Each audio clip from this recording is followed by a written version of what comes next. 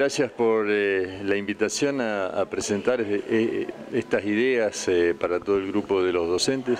Básicamente desde INTA y, desde el programa ProHuerta estamos promoviendo el uso de los servicios ecosistémicos, es decir, todo lo que, las bondades que nos brinda la naturaleza en su máxima expresión y por eso no podemos dejar de destacar que desde el punto de vista del manejo de las plagas agrícolas, tanto en, eh, la zona rural como en la zona urbana, eh, la biodiversidad juega un papel fundamental. Y vamos a hacer énfasis en eso, cómo eh, podemos usufructuar de la biodiversidad, es decir, todas las, las diversas formas de vida, las diversas formas de la biología que nos permiten a nosotros hacer eh, un uso eh, máximo para lograr deprimir las densidades poblacionales de los que nosotros llamamos organismos plagas. básicamente, eh, lo primero que uno tiene que reconocer es que el animalito si entra a una vivienda es porque se equivocó, no es por otra cuestión. Es decir, eh, y hago voy a hacer referencia a, las arañas. Eh, estos organismos son todos depredadores, es decir, para poder vivir necesitan de presas, cazar presas. Obviamente, si están en el patio y en algún momento empiezan a caminar y encuentran una, una puerta abierta, ahí es donde se introducen en el, en el domicilio. ¿Qué hay que hacer en esos casos? Bueno, nosotros justamente eh, entendemos que nada de gestos que eh, inciten o promuevan la entomofobia, que es algo que se transmite de padres a hijos, por eso es que eh, le rogamos que no hagan ningún ninguna exaltación, ni además ni nada por el estilo. A los chiquitos hay que enseñarle, el animalito se equivocó, se agarra un basurero, no se lo toca, se agarra un, basurero para recolectar la basurita, una escobita, se lo junta y se lo lleva de nuevo al patio. Esa forma sencilla ya nos empieza a motivar desde chiquitos que todos los organismos cumplen su rol en la naturaleza.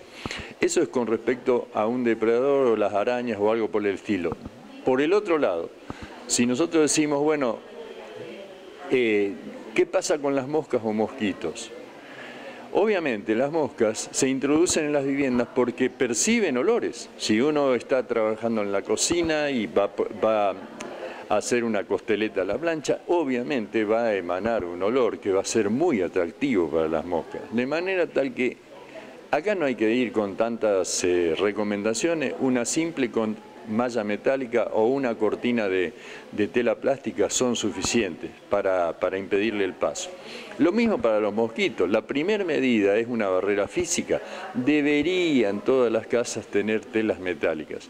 Ahora bien, algunos dicen, no, bueno, no puedo. Bueno, entonces ahí sí debemos recurrir a otro tipo de, de elementos, pero lamentablemente vamos a caer en el uso de los plaguicidas en aerosoles, pero nunca usarlo directamente sobre las personas.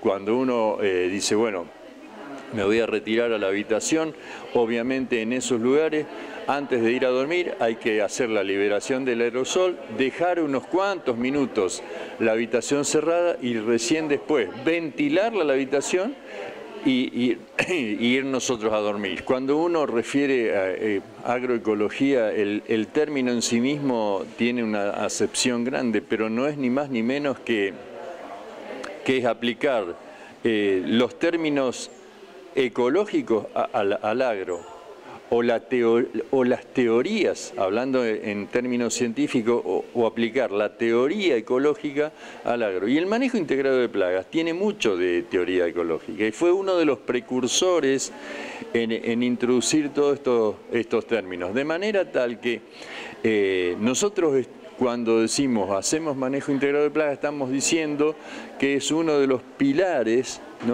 en los manejos agroecológicos, por cuanto nos valemos de, los insectos benéficos para controlar a las plagas. Es uno de los tantos ejemplos. Podemos mencionar otras cosas, por ejemplo, también para eh, afectar a las malezas o reducir el, impacto de las malezas, podemos también eh, ver con cultivos de cobertura. Antiguamente eh, se ponía énfasis en los barbechos químicos. Hoy en día se está pensando mejor en tener ese suelo cubierto con cultivos de cobertura y después a ese cultivo eh, secarlo antes, momentos antes de la siembra del cultivo propiamente dicho. Es decir, la agroecología es una concepción mental y el manejo integrado de plagas tiene mucho de eso, tiene, es, un aspecto filosófico, es una forma distinta de encarar la, protección de los cultivos. Yo creo que es una tendencia y, eso es lentamente y cada vez más, yo creo que vamos a ir hacia eh, esa forma de producción donde eh,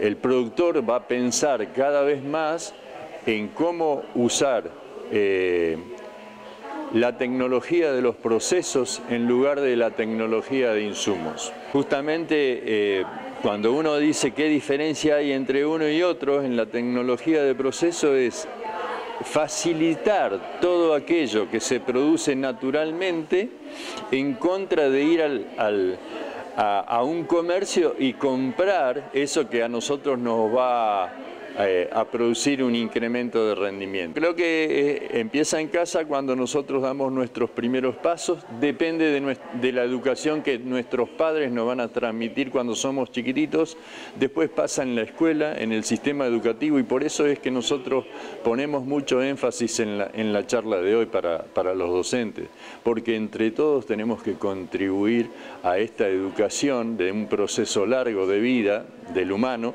donde siempre vamos a tener que cuidar del ambiente y el ambiente a su vez nos va a retribuir.